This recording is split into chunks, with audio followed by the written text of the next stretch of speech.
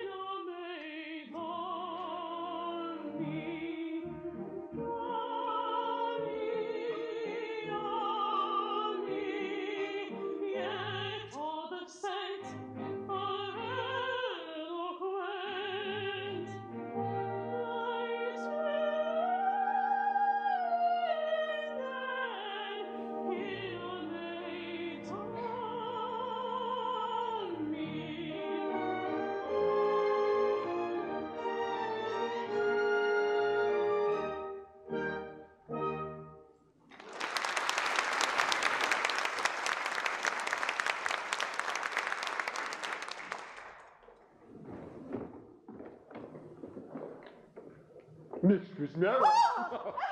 Oh! It's you. You may go away if you like, because I don't want you, you know. Haven't you anything to say to me? Oh, yes. Are the birds all caged? The wild beasts all littered down? Are the locks, chains, bolts, and bars in good order? Is the little Ease sufficiently uncomfortable? The rats, pincers, and thumbscrews all ready for work? Oh, you brute! These allusions to my professional duties are in doubtful taste.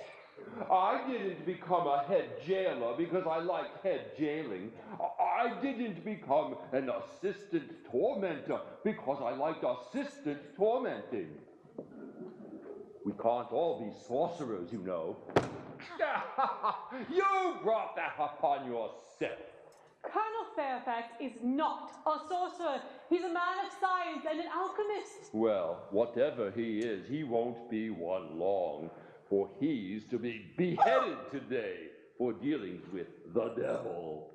His master nearly had him last night when the fire broke out in the Beauchamp Tower. How I wish he'd escaped in the all the confusion. But take care. There's still time for a reply for his petition from Mercy. Ah, I'm content to chance that. This evening at half past seven. Whack! You're a cruel monster to speak so unfeelingly to the death of a young and handsome soldier. young and handsome. How do you know he's young and handsome? Because I've seen him every day for weeks past, taking his exercise in the beach Beauchamp Tower. Curse him. There. I believe you're jealous of him. Jealous of a man I've never spoken to. Jealous of a poor soul who's to die in an hour. I am. I'm jealous of everybody and everything. I'm jealous of the, the very words I speak to you because they reach your ears and I mustn't go near them. How unjust. Jealous of the words you speak to me? Why, you know as well as I do that I don't even like them. You used to like them? I used to pretend that I liked them. It was mere politeness to comparative strangers. I don't believe you know what jealousy is. I don't believe you know how it eats into a man's heart and disorders his digestion and turns his interior to boiling lead. Oh, you're a heartless jade to trifle with the delicate organization of the human interior.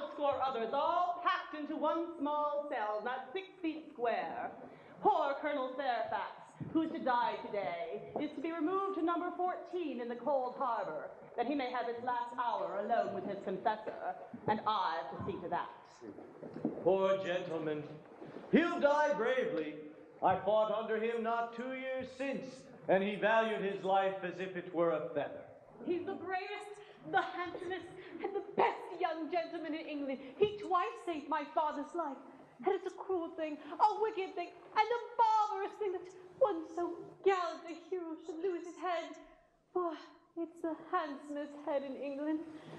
For dealings with the devil. Aye. All were beheaded who dealt with him. There'd be busy doings on Tower Green. You know very well that Colonel Fairfax is a student of alchemy, nothing more and nothing less. But this wicked tower, like a cruel giant in a fairy tale, must be fed with blood, and that blood must be the best and the bravest, or it's not good enough for the old blunderbore. Silence, you silly girl. You know not what you say. I was born in the old keep, and I've grown grey in it. And please God, I shall die and be buried in it. And there's not a stone in its walls that is not as dear to me as my own right hand.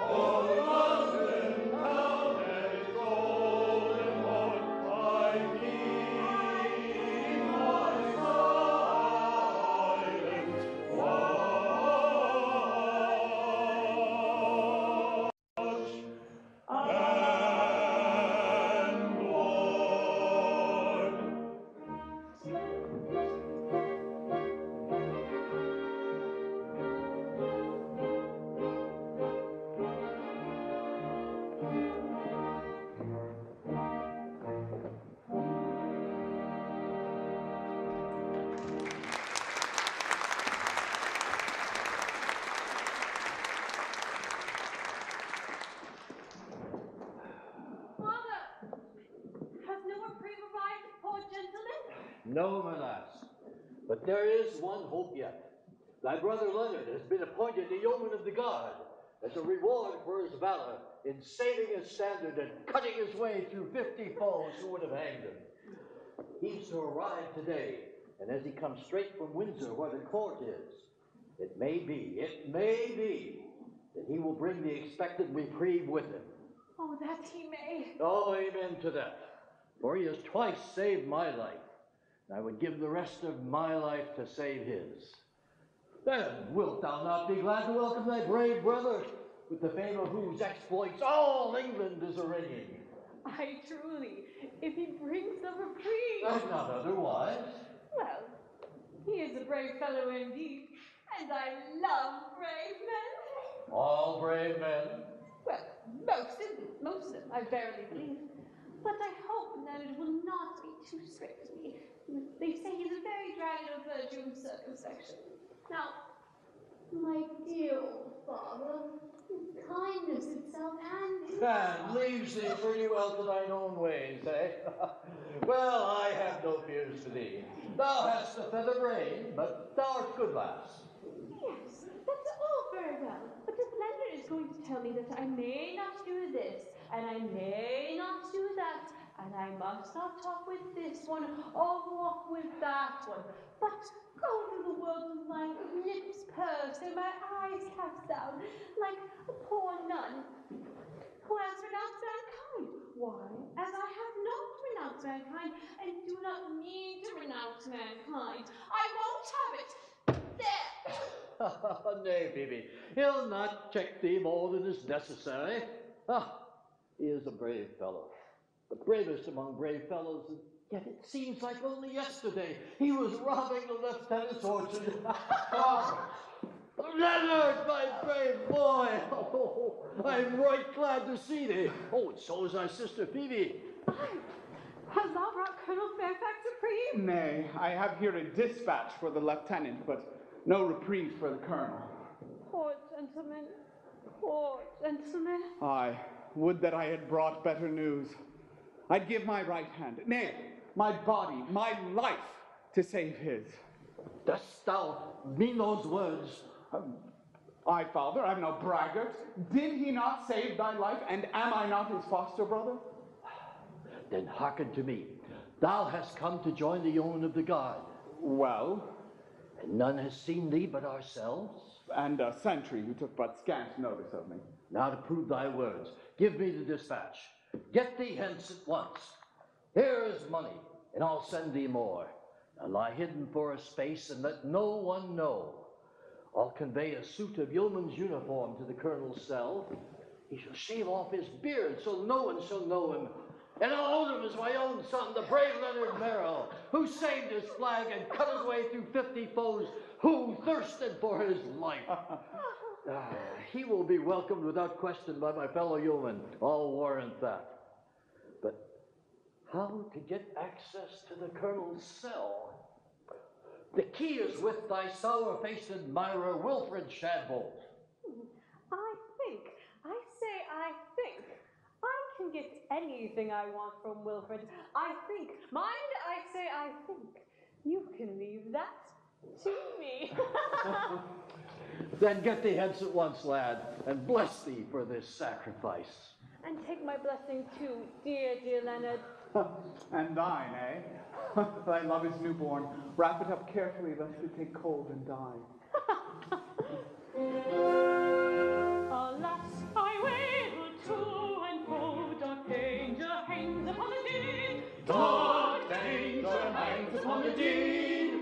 The scheme is rash and well may fail, but ours are not the hearts that quail, the hands that shrink, the cheeks that pale in hours of need. No, ours are not the hearts that quail, the hands that shrink, the cheeks that pale, the hands that shrink, the cheeks that pale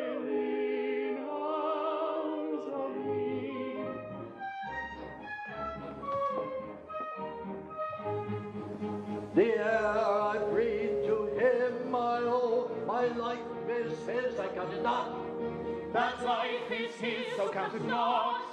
And shall I reckon risks I run, and services are to be done to save the life of such an one. Unworthy thought, unworthy thought. And shall we reckon risks we run to save the life of such a one.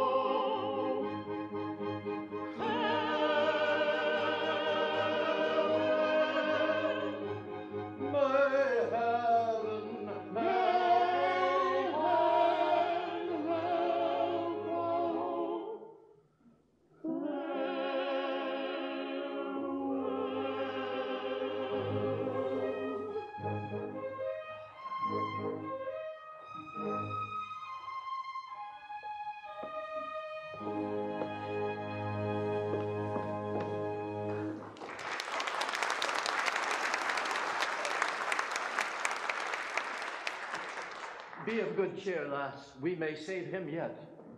Oh, see, Father, they bring the poor condemned gentleman to the Beauchamp tower. Oh, Father, his hour is not yet Oh, no, no, no. They lead him to the cold harbor tower to await his end in solitude.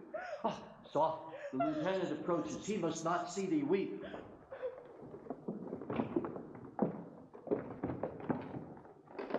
Oh! Colonel Fairfax, my old friend, we meet but sadly. Sir, I greet thee with all goodwill, and I thank thee for the zealous care with which thou hast guarded me from the pestilent dangers which threaten human life outside. In this happy little community, death, when he comes, doth so in punctual and businesslike fashion, and like a courtly gentleman, giveth due notice of his advent that one may not be taken unawares. So you bear this bravely, as a brave man should. Why, sir, tis no light boon to die swiftly and surely at a given hour and in a given fashion. Truth to tell, I would gladly have my life. But if that may not be so, I have the next best thing, which is death.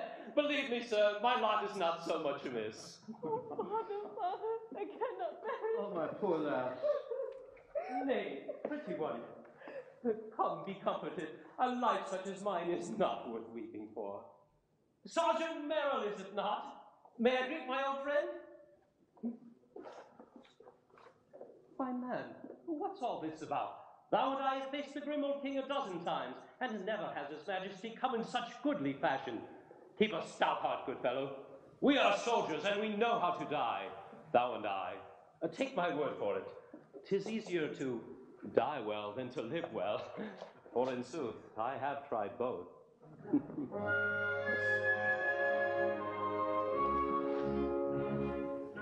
Is life a bone? If so, it must be fall.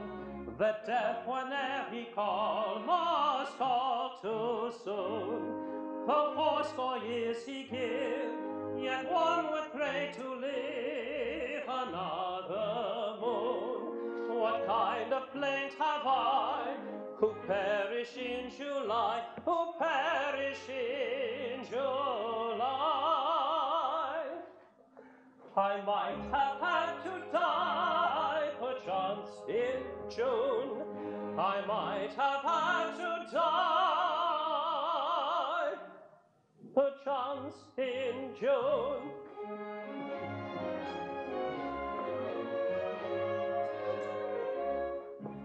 Is life upon the count is not a whit, nay, count it not a whit, might as well on with it.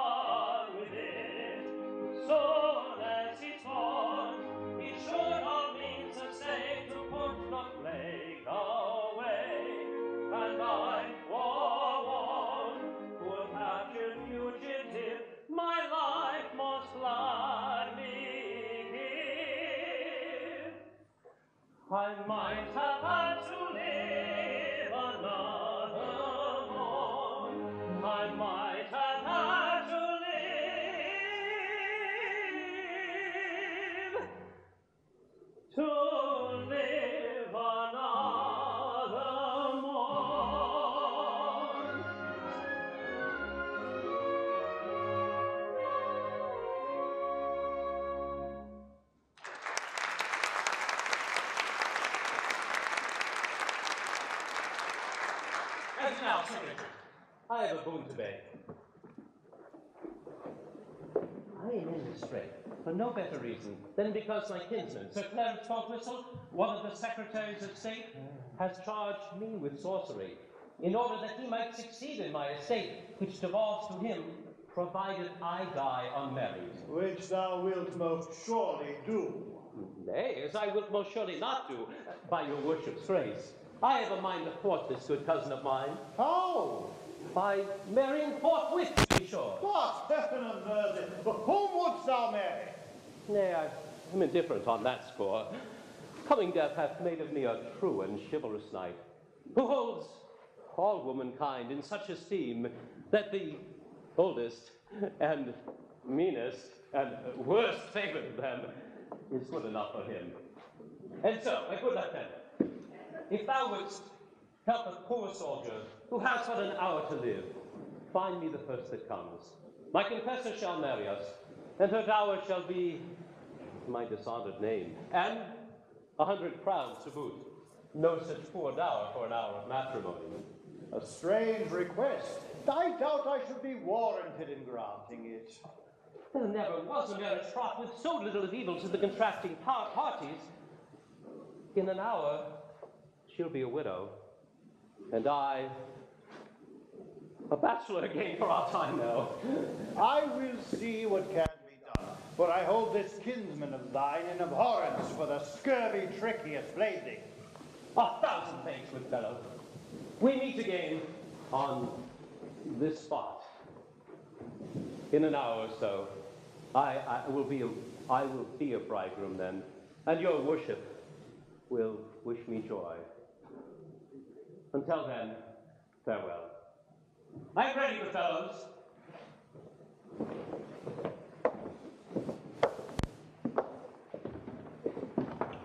He is a brave fellow. It is a pity he should die. But how to find him a bride at such short notice. The task should be easy. Thank you.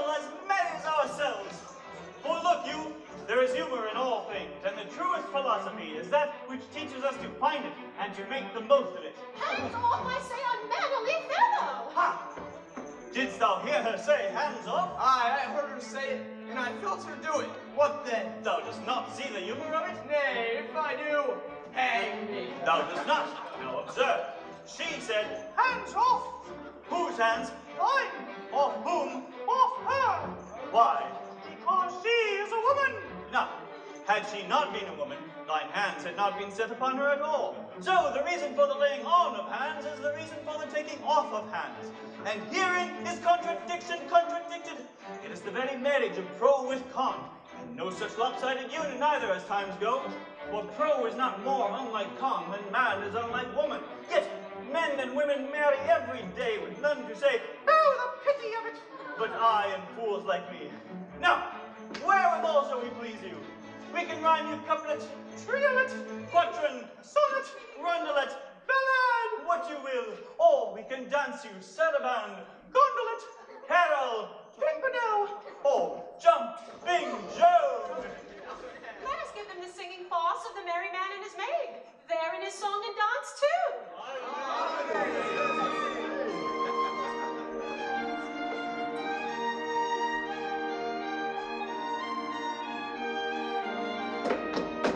I have a song to sing.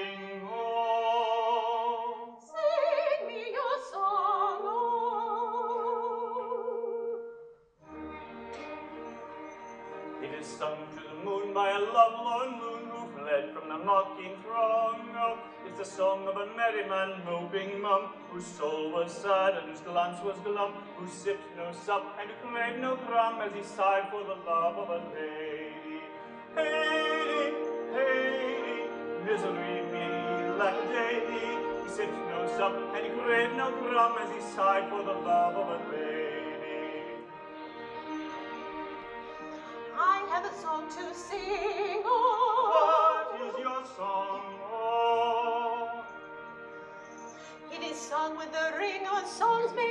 who oh, love with a love lifelong. Oh, it's a song of a merry maid, really proud, who loved her lord and who laughed aloud at the moon of a merry man, looping mum, whose soul was sad and whose glance was glum, who sipped no sop and who craved no crumb, as he sighed for the love of a. Lady, lady, lady, he sit now some in a no crumb, as he sighed for the love of a lady. I have a song to sing, oh. Sing! It is sung to the knell of a churchyard bell and a doleful dirge ding dong. Oh, it's a song of a popinjay bravely born, who turned up his noble nose with scorn at the humble merry maid, really proud, who loved a lot and who laughed aloud at the moan of the merry man moping mum, whose soul was sad and whose glance was glum, who sipped no sup and who craved no crumb as he sighed for the love of a lady. Lady, lady, misery me like a deity. He sipped no sup and he craved no crumb as he sighed for the love of a lady. I have a song to sing. Oh. Sing me a song.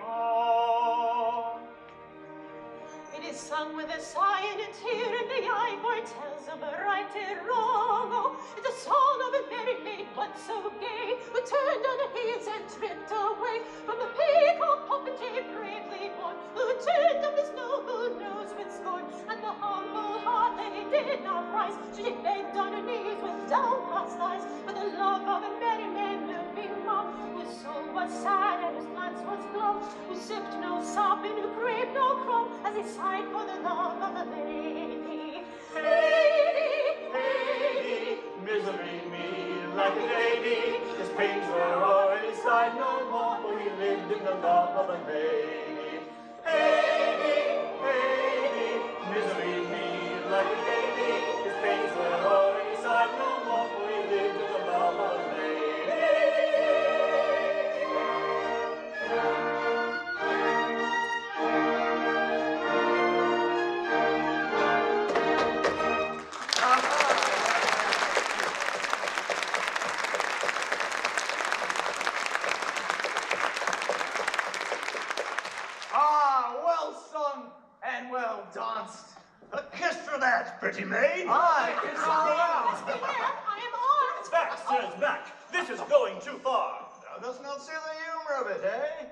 There's humor all things, even in this. What is this pother? Sir, we sang to these folk, and they would have repaid us with gross courtesy, but for your honor's coming. Away with ye! Clear the rabble.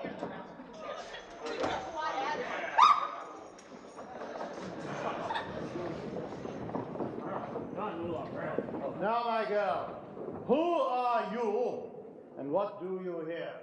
May it please you, sir. We are two strolling players, Jack Point and I, Elsie Maynard at your worship's service. We go from fair to fair, singing and dancing and playing brief interludes. And so we make a poor living. You too, eh? Are you man and wife? No, sir. For though I am a fool, there is a limit to my folly. Her mother, old Bridget Maynard, travels with us, for Elsie is a good girl. But the old woman is abed with fever, and we have come here to pick up some silver to buy an electuary for her. Harky, my girl. Your mother is ill Sorely ill, sir. and needs good food and many things which thou canst not buy. Alas, sir, it is too true. Wouldst thou earn an hundred crowns? An hundred crowns. They might save her life. Then listen. A worthy but unhappy gentleman is to be beheaded in an hour on this very spot. For sufficient reason, he desires to marry before he dies and has asked me to find him a wife. Could thou be that wife? The wife of a man I have never seen? Why, sir, look you, I am concerned in this. For though I am not yet wedded to Elsie Maynard, time works wonders, and there's no knowing what may be in store for us. Have we your worship's word for it that this gentleman will die today, Nothing is more certain, I grieve to say. and that the maiden will be allowed to depart the very instant the ceremony is at an end? The very instant. You have my honor that it shall be so. An hundred crowns? An hundred crowns. For my part, I consent. It is for Elsie to speak.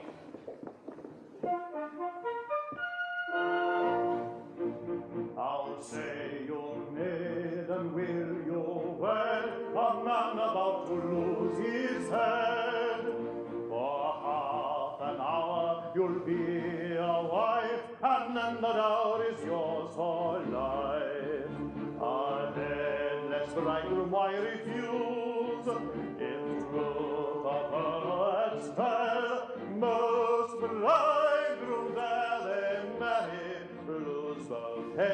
head the heart as well.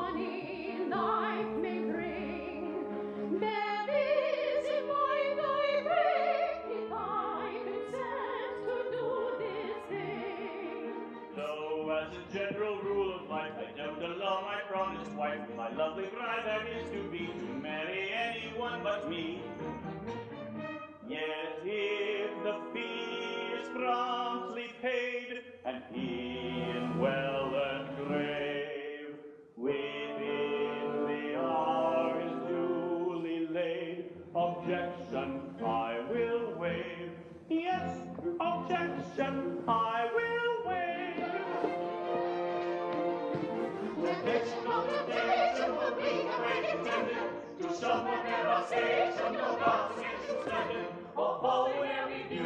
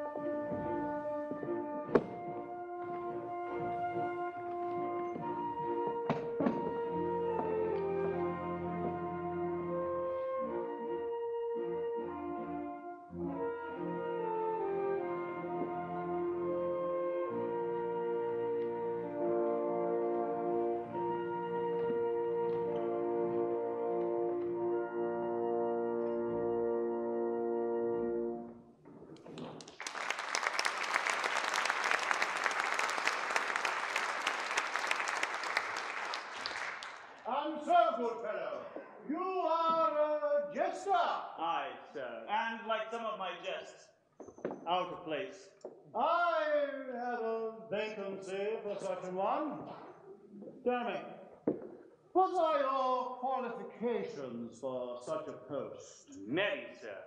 I have a pretty wit. I can rhyme you extempore. I can convulse you with quip and conundrum. I have the lighter philosophies at my tongue's tip. I can be merry, wise, quaint, grim, and sardonic, one by one, or all at once. I have a pretty turn for anecdote. I know all the just, ancient and modern, past, present, and to come. I can riddle you from dawn of day to set of sun. And if that content you not, well unto midnight and the small hours. Oh, sir, a pretty wit, I warrant you. A pretty, pretty wit.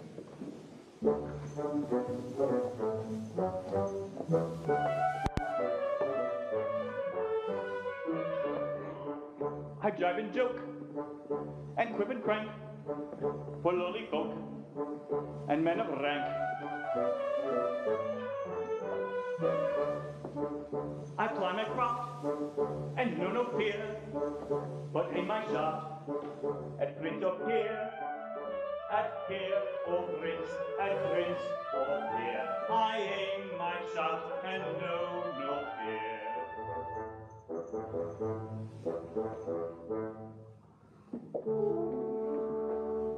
I've wisdom from the east and from the west, that's subject to no academic rule. You may find it in the jeering of a jest, or distill it from the folly of a fool. I can teach you with a if I've a mind. I can trick you into learning with a laugh. Oh, riddle all my folly, folly, folly, and you'll find a grain or two of truth among the chaff. Oh, riddle all my folly, folly, folly, and you'll find a grain or two of truth among the chaff. Set a braggart quailing with a quip. The upstart I can wither with a whim. He may wear a merry laugh upon his lip, but his laughter has an echo that is grim. When they're offered to the world in many guise, unpleasant words are swallowed with a will. For he would make his fellow, fellow, fellow creatures wise should always gild the philosophic pill. For he would make his fellow, fellow, fellow creatures wise should always gild the philosophic. And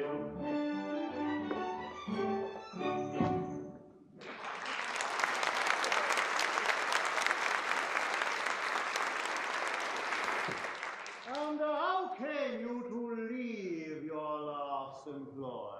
Why, sir, it was in this wise. My lord was the Archbishop of Canterbury. And it was considered that one of my jokes was unsuited to his grace's family circle. In truth, I ventured to ask poor riddle, sir. Wherein lay the difference between his grace and poor Jack Point? His grace was pleased to give it up, sir. And thereupon I told him that, whereas his grace was paid 10,000 a year for being good, poor Jack Point was good for nothing. it was but a harmless jest, but it offended his grace, who whipped me and set me in the stocks for a skirl road, and so we parted. I had as lief not take post again with the dignified clergy. Uh, but I trust you are very careful not to give offense. I uh, have daughters. Sir, my jokes are most carefully selected, and anything objectionable is expunged. If your honor pleases, I will try them first on your honor's chaplain. Uh, can you give me an example? Uh, suppose I had sat me down hurriedly on something sharp. Sir, I should say that you had sat down on the spur of the moment. Ah. Don't think much of that. That's the best you can do. It has always been much admired, sir, but uh, we will try again. Well then, I am at dinner, and that the joint of meat is but half cooked. Why then, sir, I should say that what is underdone cannot be helped. I see. I think that sort of thing would be somewhat irritating. Oh, at first, sir, perhaps, but use is everything, and you would come in time to like it. Uh, well, uh, suppose I had caught you kissing that kitchen wench under my very nose. Under her very nose, good sir, not under yours. that was where I would kiss her. oh, sir, pretty, pretty, pretty whip. But the maiden comes. Uh, follow me, friend, and we shall discuss this matter at length in my library. I am your worship's servant. Uh, that is to say, I trust I soon shall be. But before proceeding to a more serious topic, can you tell me, sir, why brain pan is like an overwound clock. Oh, the truth to this fooling. Follow me! Just my luck. My best conundrum. Wasted!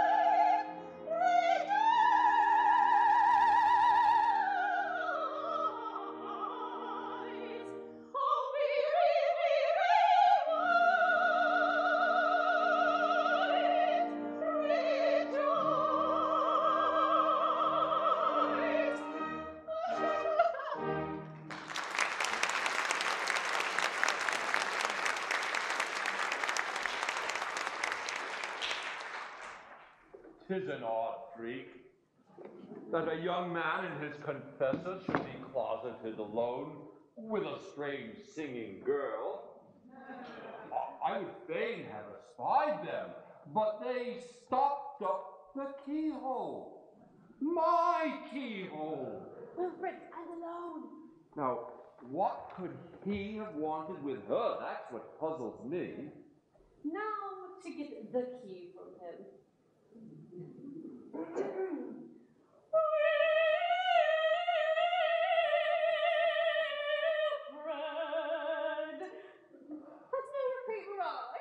None. Thine adored Fairfax is to die.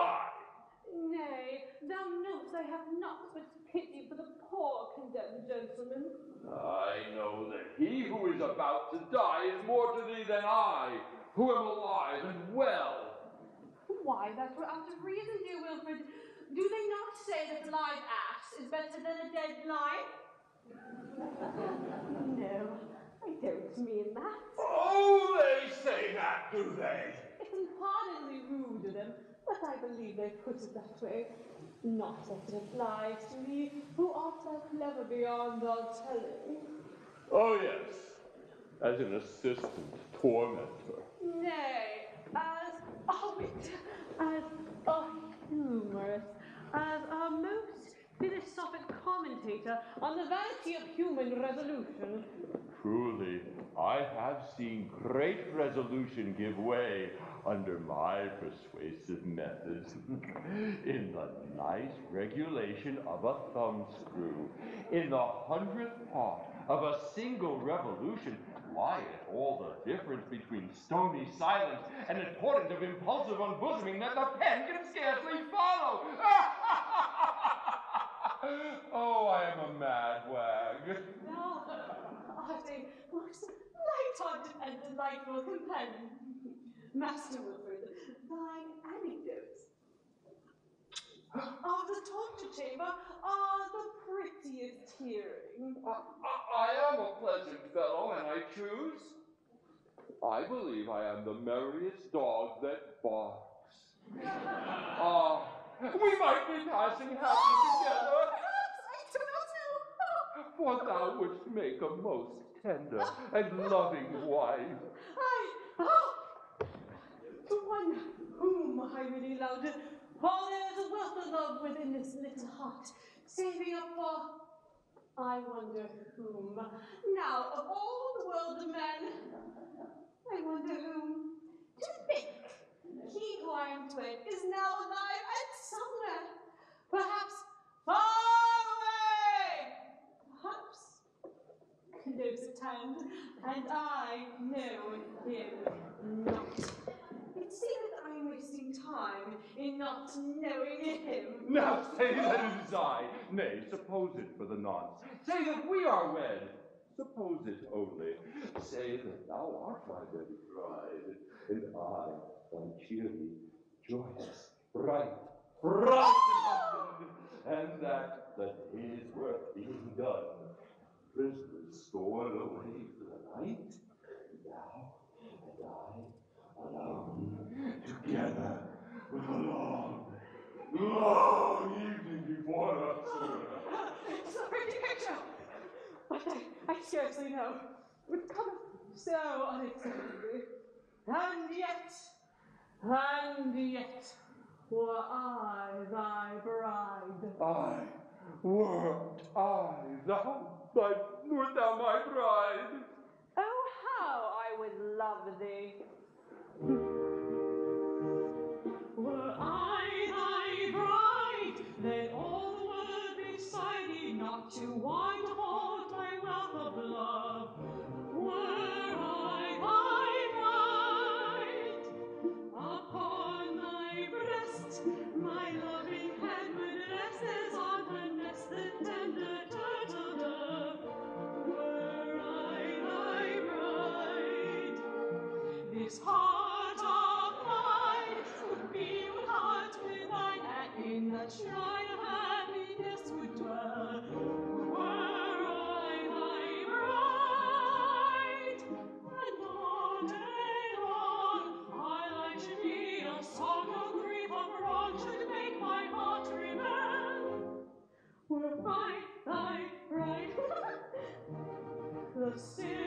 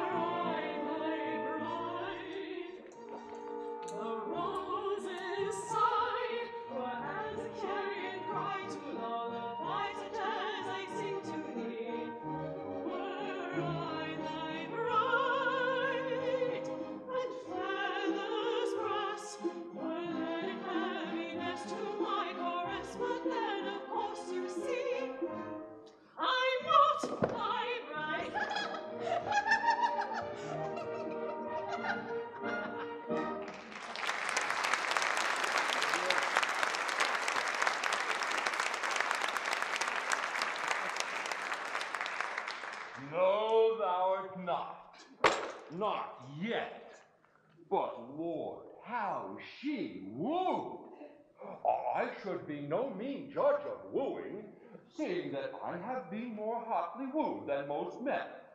I have been wooed by maid, widow, and wife. I have been wooed boldly, timidly, tearfully, shyly, by direct assault, by suggestion, by implication, by inference, and by innuendo. But this wooing is not of the common order. It is the wooing of one who needs must woo me if she die for it.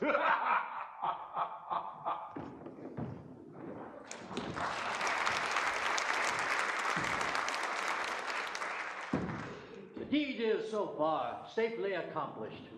The sly hoots, how she wheedled him! What a helpless ninny is a lovesick man. He is but, but a lute in a woman's hands. She plays upon him whatever tune she will. oh, but the colonel comes. In faith, he's just in time for the yeoman parade here for his execution in two minutes. My good and kind friend, thou runnest a grave risk for me. Uh, tut sir, no risk. I'll warrant none here shall recognize you. You make a brave yeoman, sir. Oh, but this ruff is too high. So, here's your halberd, sir. Carry it thus. Oh, yeoman, come. Remember, you are my brave son, Leonard Meryll. If I may not bear mine own name, there's none other I would bear so readily. Then put a bold face on it, sir, for they come.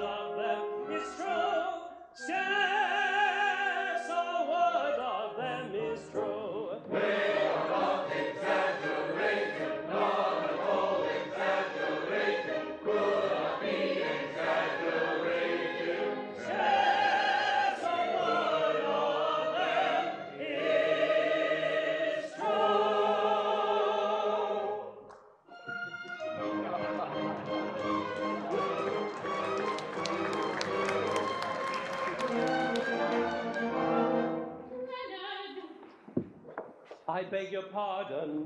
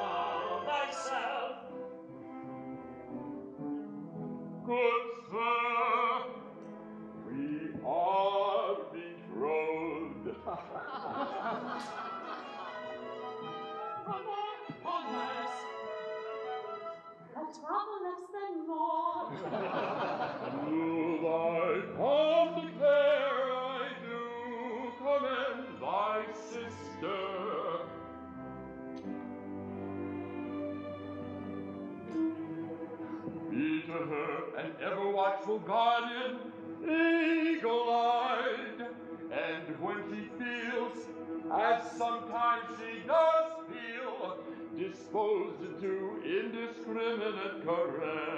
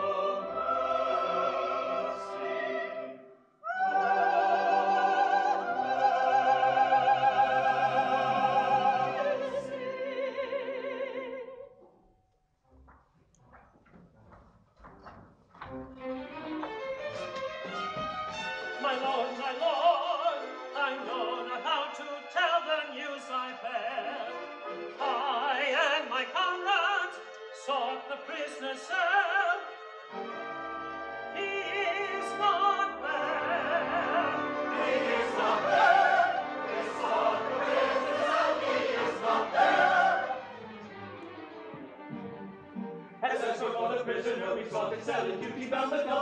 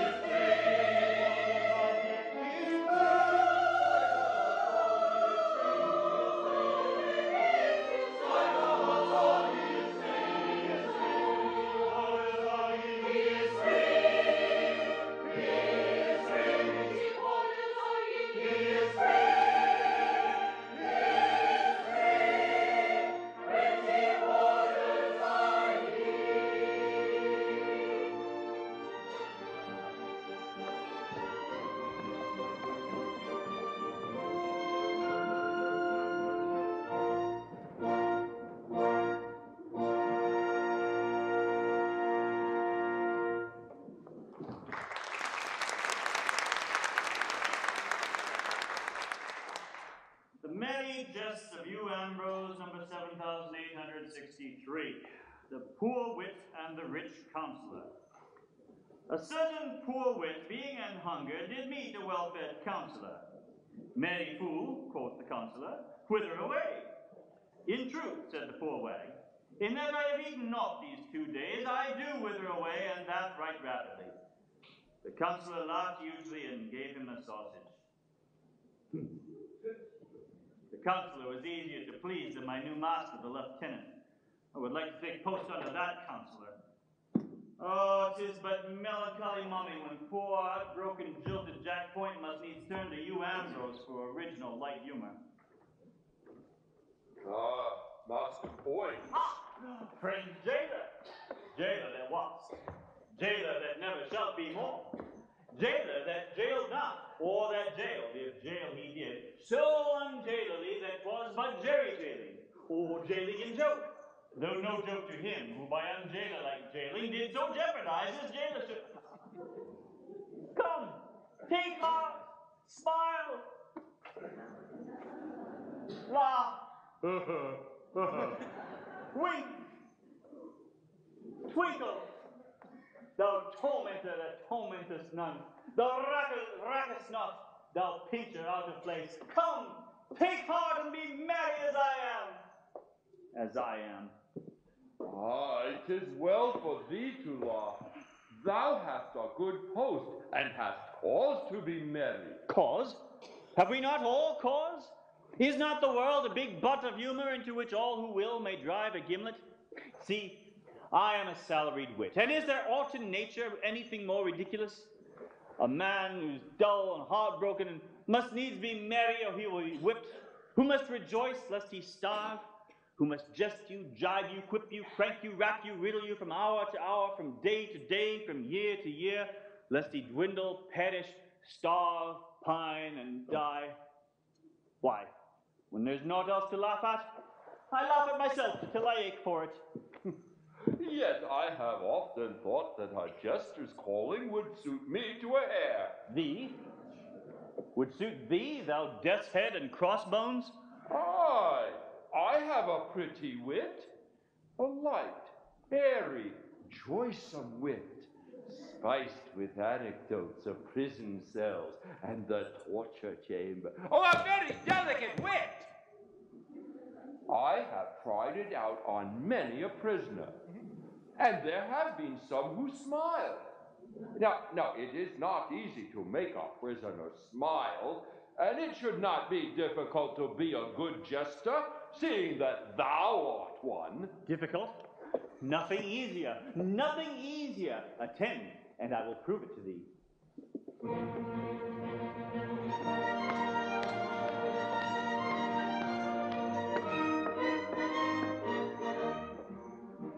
Old private buffoon is a light-hearted loon if you listen to popular rumor. From the morn to the night, he's a joyous and bright, and he bubbles with wit and good humor. He's acquaintance and terse both in prose and verse. If the people forgive his transgression, there are one or two rules that all family fools must observe if they love their profession. There are one or two rules, half a dozen maybe, that all family fools of whatever degree must observe if they love their profession. If you wish to succeed as a jester, you'll need to consider each person's auricular. What is all right for B would quite scandalize C, for C is so very particular. And D may be dull, and his very big is as empty of brains as a ladle, while F is F sharp, and will cry with a carp that he's known your best joke from his cradle. When you're humor they love, you can't let yourself go, and it does put you out when a person says, Oh, I know that joke to me fatal. When your master is early from getting up early and tempers are short in the morning, and an opportune joke is enough to provoke him to give you at once a month's warning, then if you refrain, he is at you again, for he likes to get valuable money. He'll ask then and there, with an insolent stare, if you know that you're paid to be funny. It adds to the task of a man in place, when your principal laughs with the skull of his face. If you know that you're paid to be funny. Comes a bishop, maybe, or a solemn he will be word his anger's provoking. Then an apple his hair does stick pins in his hair. You don't understand practical joking. If the jest that you crack have an orthodox smack, you may get a landmark from these sages. But should they by chance be imported from France, half a crown is stopped out of your wages. It's a general rule where your zeal may quench. If the family fool does a joke is too French, half a crown is stopped out of his wages. Though your head may rack with a bilious attack in your senses with toothache you're losing, don't be mopey and flat, they don't find you for that if you're properly quaint and amusing. Though your wife ran away with a soldier that day and took with her your trifle of money, bless your heart, they don't mind. They're exceedingly kind. They don't blame you as long as you're funny. It's a comfort to feel that your partner should. Though you suffer a deal, they don't mind it a bit. They don't blame you so long as you're funny.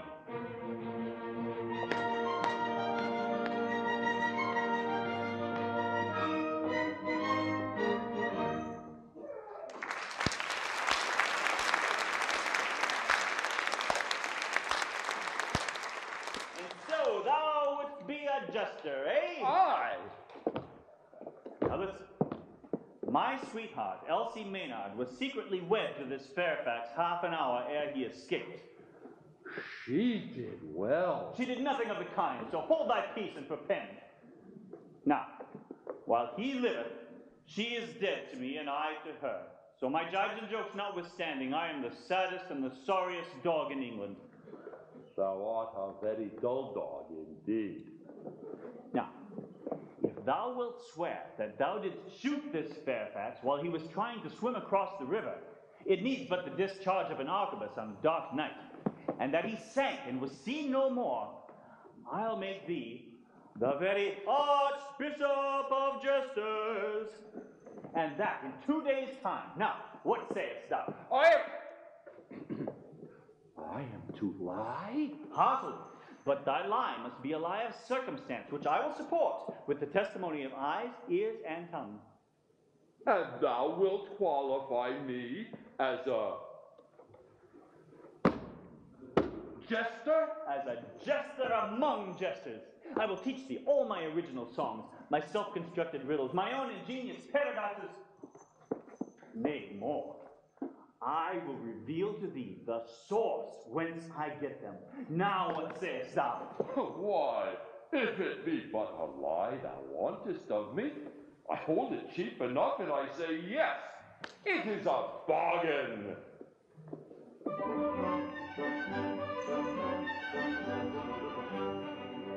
Hereupon we both agree, all that we do, you agree to, will secure my solemn plea to Mento, El Mento, you and Elsie and Nicole, with a story grim and gory. Of this Fairfax I know, I declare to, you swear to. I do swear to, I declare to. I do swear to, I declare to. I do swear to, you swear to, I do swear to. Tell a tale of cock and bull, all the days in detail full.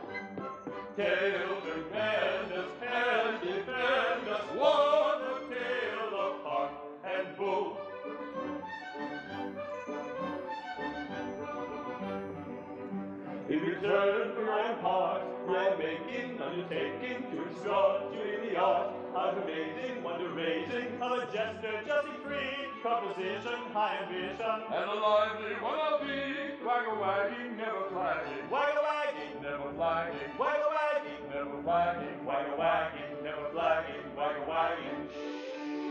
Tell a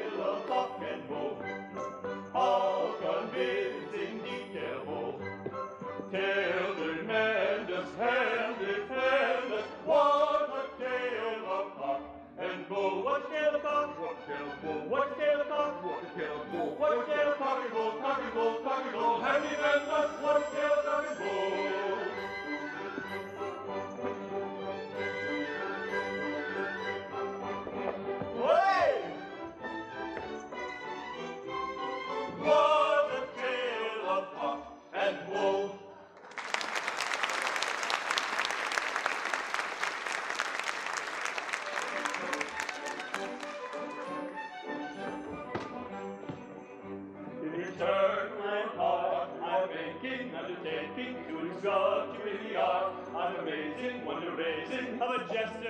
free, composition, high ambition, And a lively one I'll be, waggle wagging, never flagging. waggle wagging, Never flagging. waggle wagging, Never flagging. waggle wagging, never flagging, waggle wagging. Tell a tale of cock and bull, all convincing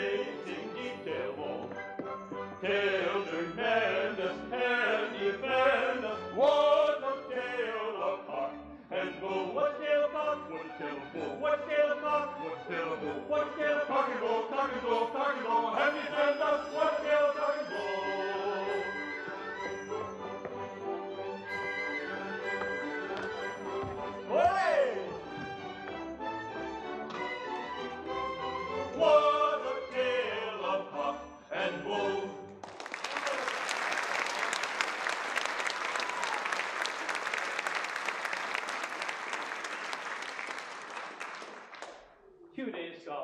and no news of poor Fairfax. The dogs, they seek him everywhere, save within a dozen yards of his dungeon. So, I am free. Free but for the cursed haste with which I hurried headlong into the bonds of matrimony with. Heaven knows whom. As far as I remember, she should have been young, but even had not her face been concealed by her kerchief, I doubt whether in my then flight I should have taken much note of her. Free. Bah! The tower bonds are but a thread of silk compared with these conjugal fetters, which I, fool that I was, placed upon mine own hands. From the one, I broke readily enough. How to break the other?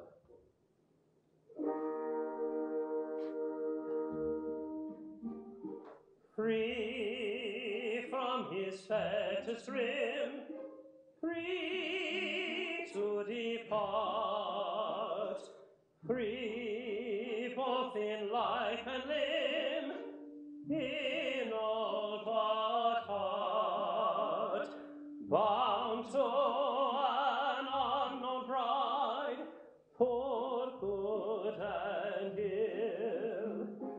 Ah, is not one so tied,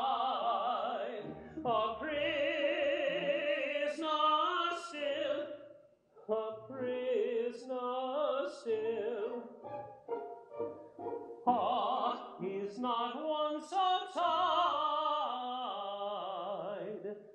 a prisoner still.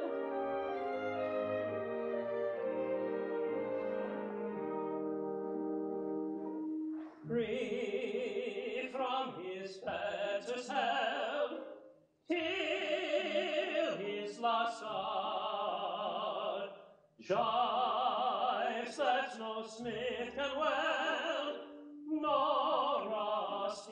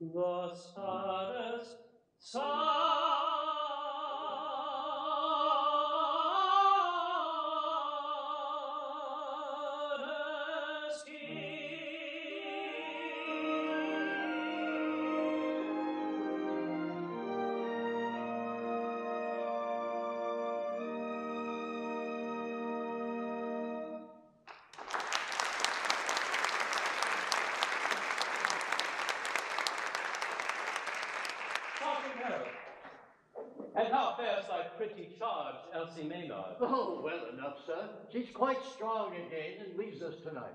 Well, thanks to Dame Carruthers' kind nursing, eh? I do take the old witch. Twas a sorry trick you played me, sir, to bring that fainting girl to me. You gave the old lady an excuse to take up her quarters in my house. And here for the last two years, I've been shunning her like the plague. Another day of it, she would have married me. Oh, good Lord, here she comes again. I'll go. Nay, Sergeant Meryll, don't go. I have something of great import to say to thee. It's coming. In faith, I think I'm not wanted here. Nay, Master Leonard, I have naught to say to thy father that his son may not hear. True, I, I am one of the family. I had forgotten. It's about Miss Elsie Maynard. A pretty girl, Master Leonard. Aye, fair as a peach blossom. What then? She hath a liking for thee, or I mistake not. With all, with all my heart. She's as dainty a little maid as you'll find on a midsummer day's march. Then be warned in time, and give not thy heart to her. Oh, I know what it is to give my heart to one who will have none of it. Why, she knows all about that. And why should my boy either? She's a good girl, then, Carruthers. Good enough for aught I know, but she's no girl. She's a married woman. A married woman, old lady. She's promised to Jack Point, the lieutenant's new jester. Touching thy teeth, old man. As my niece Kate sat by her bedside today, as Elsie slept, and as she slept, she moaned and groaned and turned this way and that way, and uh, how should I marry one I have never seen?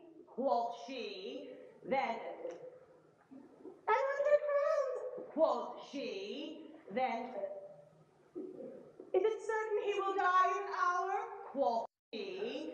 Then, I love him not, and yet I am his wife. Quoth she. Is it not so, Kate? Aye, aunt, tis even so. And thou art sure of all this? Aye, sir, for I wrote it all down on my tablet. Now mark my words, of this Fairfax she spake, and he is her husband, or I'll swallow my kirtle. Is this true, sir? True. Why, the girl is raving. Why should she marry a man who has but an hour to live? Marry? There be those who would marry but for a minute rather than die old maids. Aye, I know one of those.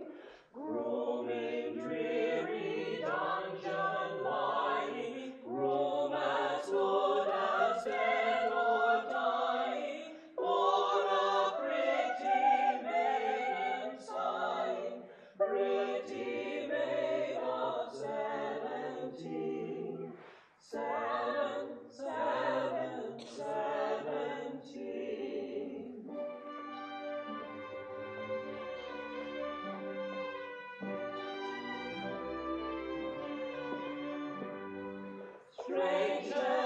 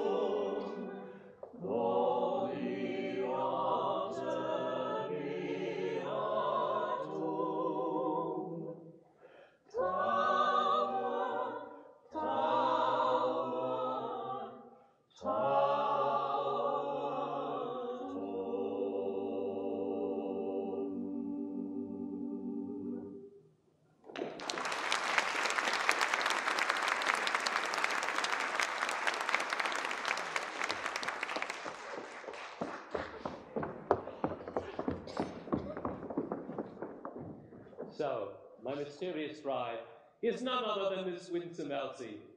Upon my hand, I might have fared worse with my eyes open. but here she comes. Now to test her principles. Tis not every husband who has a chance of wooing his own wife. Mistress Elsie, Master Leonard. so thou leavest us tonight. Yes, Master Leonard, I've been kindly tended, and I almost say I'm loth to go. Uh, and this Fairfax, glad when he escaped? Why, truly, Master Leonard, it is a sad thing that a young and gallant gentleman should die in the very fullness of his life. Then when thou didst faint in my arms, it was for joy at his safety. Well, it may be so, but I was highly wrought, Master Leonard, and I am but a girl, so when I'm highly wrought, I faint. Now dost thou know that I am consumed with a parlous jealousy? Thou? And of whom? Why, of this Fairfax, surely. I. Shall I be frank with thee? Elsie, I love thee ardently, passionately. Elsie, I have loved thee these few days, which is a long time, and would fain join my life to thine. Master Leonard, thou art jesting. For jesting, may I shrivel into raisins if I jest. I love thee with a fever. I love thee with a frenzy. I love thee with a love that eateth up my heart. What sayest thou? Thou wilt not let my heart be eaten up. Oh, mercy, what am I to say? Now dost thou love me, or hast thou been impertinent these few days? Ah, I love all brave men. Nay, there's love in excess. I thank heaven there are many brave men in England, but if thou lovest them all, then I withdraw my thanks. I love the bravest best, but, sir, I may not listen. I am not free. I, I am a wife. Thou? A wife? Whose? His name? His bravest son, his epitaph. Come, his name. Oh, sir, keep my secret. It is the only barrier that fate could set up between us. My husband is none other than Colonel Fairfax. The greatest villain unhung? The most ill-favored, ill-mannered, ill-natured, ill-omened, ill-tempered dog in Christendom? It is very like. He is not to me, for I never saw him. I was blindfolded, and he was to have died within the hour. But he did not die, and I am wedded to him, and my heart is broken. He was to have died, and he did not die. The scoundrel, the perjured, traitorous villain. Thou shouldst have insisted on his dying first, is the only way with these Fairfaxes. I now wish I had. What thirsty little maiden. I'll take for this Fairfax. Be mine. He will never know it. He dares not show himself, and if he dare, what art thou to him? Fly with me, Elsie. We will be married tomorrow, and thou shalt be the happiest wife in England. Master Leonard, I'm amazed. Is it that brave soldiers speak to poor girls? Oh, for shame, for shame. I am wed, not the less because I love not my husband. I am a wife, sir, and I have a duty. Oh, sir, thy words terrify me. They are not honest. They are wicked words and unworthy thy great and brave heart. Oh, shame upon thee! Shame upon thee! Oh, Elsie, I did my best. I.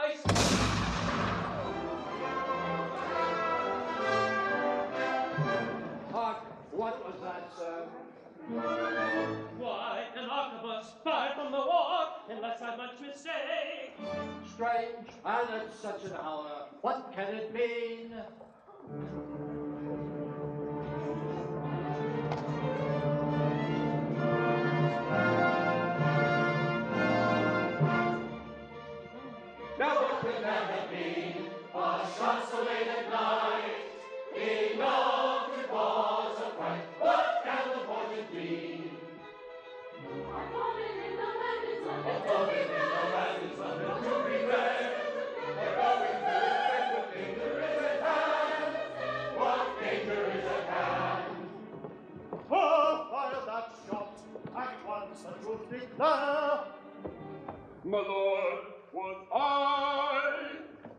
rashly judge forbear? My lord, 'twas he who rashly judged forbear.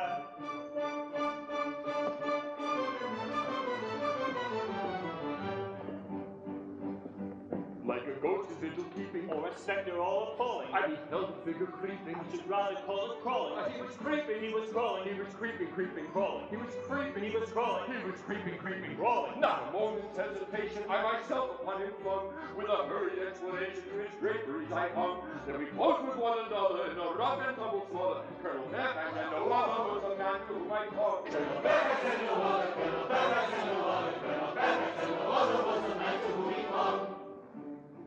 After mighty tug and tussle, It resembled more a struggle. he by dint of stronger Or muscle, by some infernal juggle. from my clutches quickly sliding, I should rather call it slipping. with a view no doubt of hiding, Or escaping to the shipping. with a gasp and with a quiver. I describe it as a shiver. Down he dived into the river, and alas, I cannot swim. It's enough to make one shiver with a gasp and with a quiver. Down he dived into the river, it was very brave of him. Ingenuity is hatching with the view making of pleasing arquebus or can be snatching. I should rather call it seizing. With an ounce or two of lead, I dispatch him through the head. With an ounce or two of lead, he dispatched him through the head. I discharged it without winking. Little time I lost in thinking. Like a stone, I saw him sinking. I should say a lump of lead. Started without winking, little time he wasn't thinking. Like a stone, I saw him sinking. I should say a lump of lead. Like a stone, to why I said. Like a heavy lump of lead. Like a stone, to why I said. Like a heavy lump of lead. Anyhow, the man is dead, whether stone or lump of lead. Anyhow, the man is dead, whether stone or lump of lead. Arquebus and sentry seizing with the view is king of pleasing. Arquebus and sentry seizing with the view ah. is king of pleasing. When he shot him through the head, and he's very, very dead. And it matters very little whether stone or lump of lead. It is very, very certain that he's very, very dead. Stone. Lead. The river must be dragged, no time be lost. The body must be found at any cost. To this attend without undue delay. So set to work with what ye may. Yes, yes, we'll to work with what is dispatch we may.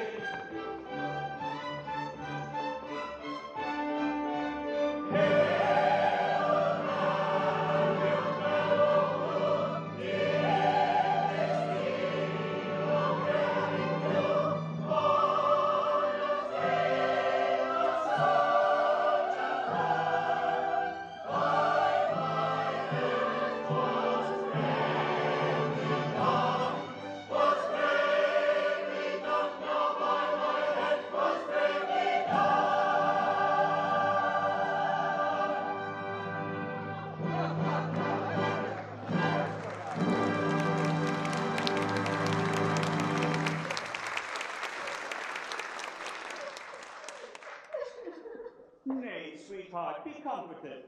This Fairfax was but a pestilent fellow, and as he had to die, he might as well die thus as any other way. way. 'Twas a good death. Still, he was my husband, and had he not been, he was nevertheless a living man. And now he is dead, and so by your leave, my tears may flow unchidden, Master Point. And thou didst see all this? Aye, with both eyes at once, this and that. The testimony of one eye is not, he may lie, but when it is corroborated by the other, it is good evidence that none may gainsay. Here are both present in court, ready to swear to him. I'm oh, so sorry to Fairfax. Saw you his face? Aye, and a plaguey ill favorite face, too. A very hangdog face. A felon face. A face to fright the headsman himself and make him strike awry. Oh, a plaguey bad face. Take my word for it. How they laugh. Tis ever thus with simple folk. An accepted wit has but to say, pass the mustard, and they roll their ribs out. If ever I come to life again, thou shalt pay for this, Master Points. Now, Elsie, thou art free to choose again. So behold me.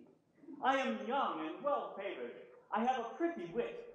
I can jest you, jibe you, kick you, crank you, rap you. Thou knowest not how to woo. Tis not to be done with time-worn jests and threadbare sophistries, with quips, conundrums, rhymes, and paradoxes.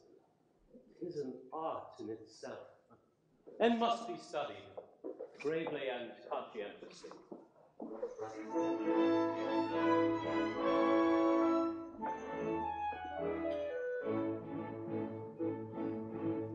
A man who would woo a fair maid should practice himself to the trade and study all day in a methodical way how to flatter, cajole, and persuade. He should practice himself at fourteen and practice from morning to evening.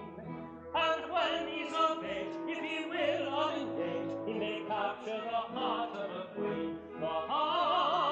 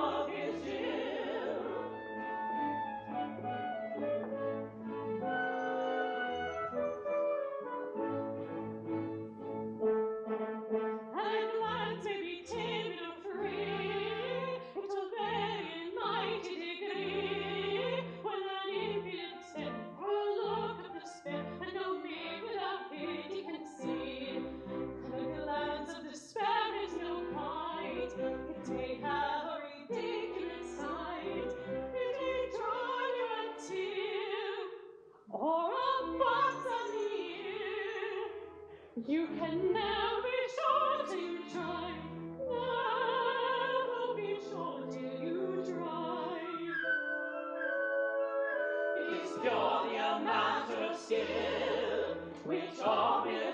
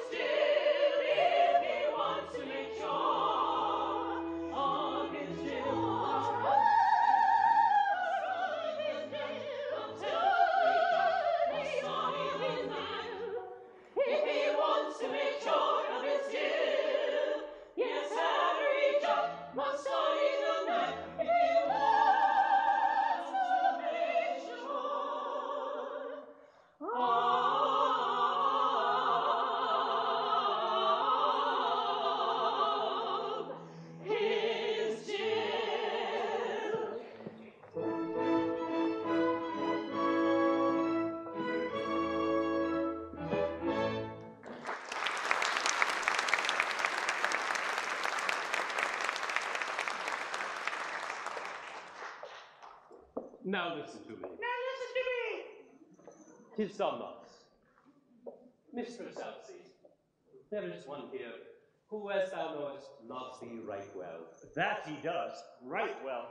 He is but a man of poor estate, but he hath a loving, honest heart. And if thou wilt be his wife, thou shalt lie curled up in his heart like a little squirrel in its nest. Tis a pretty figure. A maggot in a nut lies closer. But a squirrel will do. He knows that thou wast a wife, an unloved and unloving wife, and his poor heart was near to breaking. But now that thine unloving husband is dead, and thou art free, he would fain pray that thou wouldst hearken unto him, and give him hope that thou wouldst one day be his. He presses a hand and whispers in her ear, Odds Barkins, what does this mean? And now, sweetheart, tell me, wilt thou be this poor good fellow's wife? If the good brave man, uh, is he a brave man? So men say. Uh, that's not true, but uh, let it pass. If the brave man will be content with a poor, penniless, untaught maid, Widow, but let that pass. then I will be his true and loving wife. But not with my heart of hearts. My own dear love! Why, what's all this? Brother, brother, it is not seemly. Oh, I can't let that pass. Hold, is not Master Leonard. An advocate should have his fee, but methinks thou art overpaying thyself. Nay, that is for Elsie to say. I promise thee I would show thee how to woo. And herein lies the proof of the virtue of my teaching. Go thou and show it elsewhere.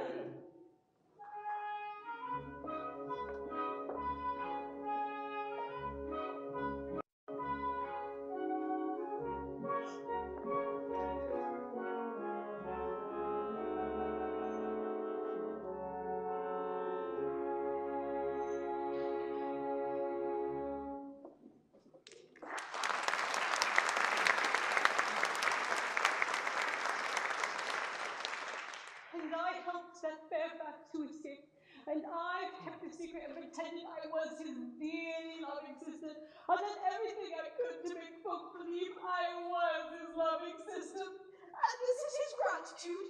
Before I pretend to be sister to anybody again, I'll turn nun. And to be sister to everyone, one as much as another.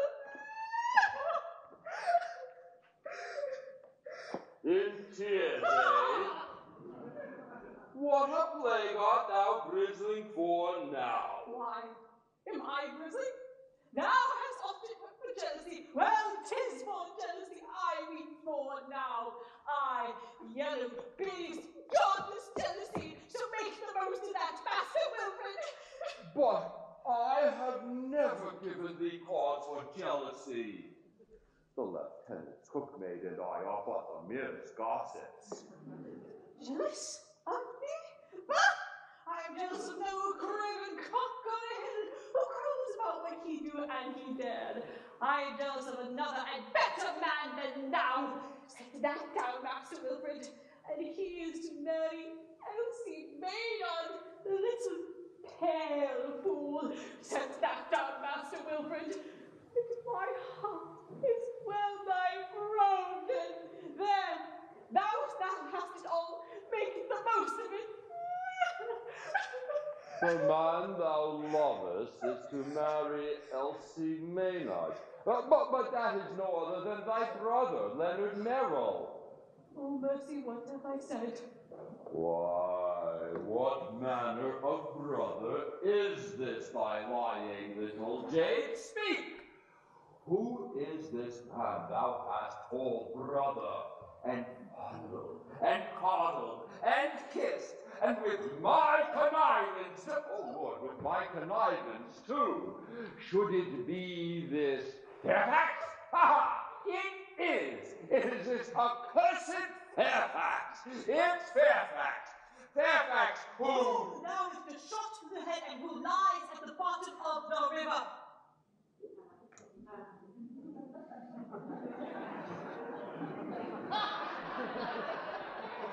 I may have been mistaken. We are but fallible mortals, the best of us. But I'll make sure. I'll make sure. Say, one word. I think it cannot be Fairfax. Mind, I say I think, because thou hast slain Fairfax. And whether he be Fairfax or no Fairfax, he is to marry Elsie. And, and as thou hast shot him through the head, and he is dead. Be content with that, and I will be thy wife. Is that sure? Aye, sure enough. There's no help for it. Woo! Thou art a brute. But even brutes must know. I suppose. My beloved.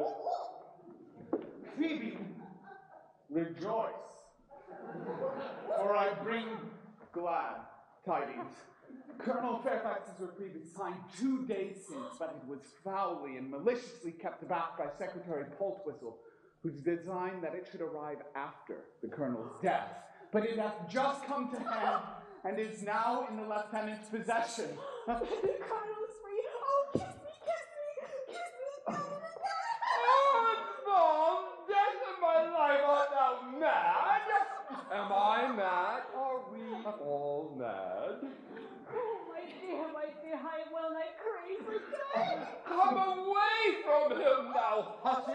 thou jade, thou kissing, clinging cockatrice, and as for thee, sir, devil take thee.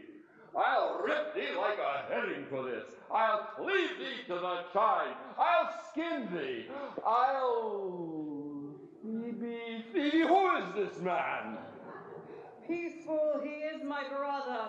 Another brother? Are there any more of them? Produce them all at once and let me know the worst. This is a real Leonard. Don't. the other was but his substitute. The real Leonard, I say, my father's own son. How do I know this? Has he brother written large on his brow? I mistrust thy brothers. Thou art but a false jade. Now, Wilfred, be just. Truly I did deceive thee, but it was to save a precious life. and to save it not for me, but to another. Come, thou art wed this very day. Is not that enough for thee? Come, I am thy Phoebe, thy very own, and we will wed in a Phoebe! year or two. Hast thou heard the brave news? My father. I'm nigh mad with joy. Why, what's all this? Oh, father, he's discovered the secret of my folly, and the price of his silence is. Phoebe's heart. Oh, dear, no. Phoebe's hand. Uh, it's the same thing. Is it? Oh! Uh, 'tis pity that the colonel had to be saved at any cost. As the, thy folly revealed our secret, tis thy folly must e'en suffer for it. Dame Carruthers! So, a plot to shield this arch fiend, and I have checked it. A word from me, and three heads besides his would roll from their shoulders. Nay, the colonel is reprieved. But if my complicity in his escape were known, oh, plague of the old meddler. Well, there, there's nothing for it but, uh, hush, pretty one. Such bloodthirsty words, you'll become those cherry lips. Oh. Why, look ye, Chuck. I've thought to myself for these many months, I've thought, uh, there must be some snug love saved up in that middle-aged bosom for someone. And it might as well be me. Uh, that's me. Uh, so why not take heart and tell her, uh, thee, that thou, uh, me, uh, lovest her, thee, and uh, I'm just a miserable old man, and there I've done it. And that's me. But not a word about Fairfax. The price of thy silence is. Meryll's heart. Oh, no, no, no, no, no. Meryll's hand. It's the same thing. Is it?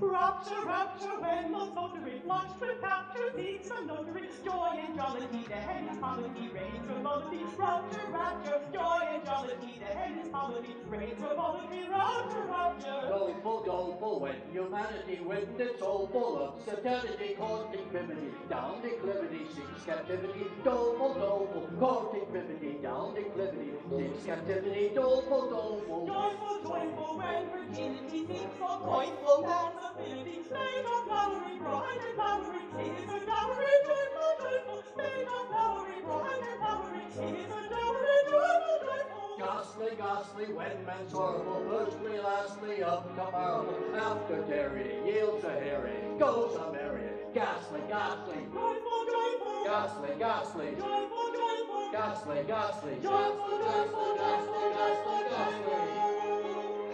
Rapture, rapture, when sings captivity, captivity, joy and jollity, down eternity, sings captivity, rapture,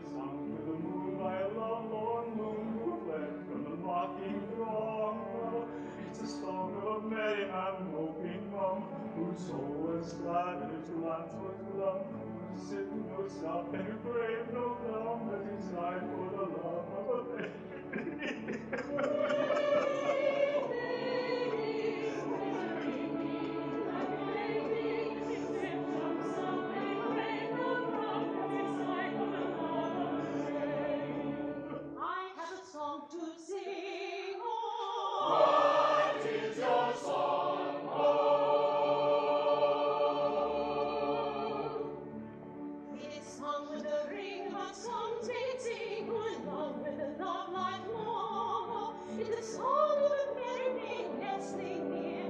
Lord.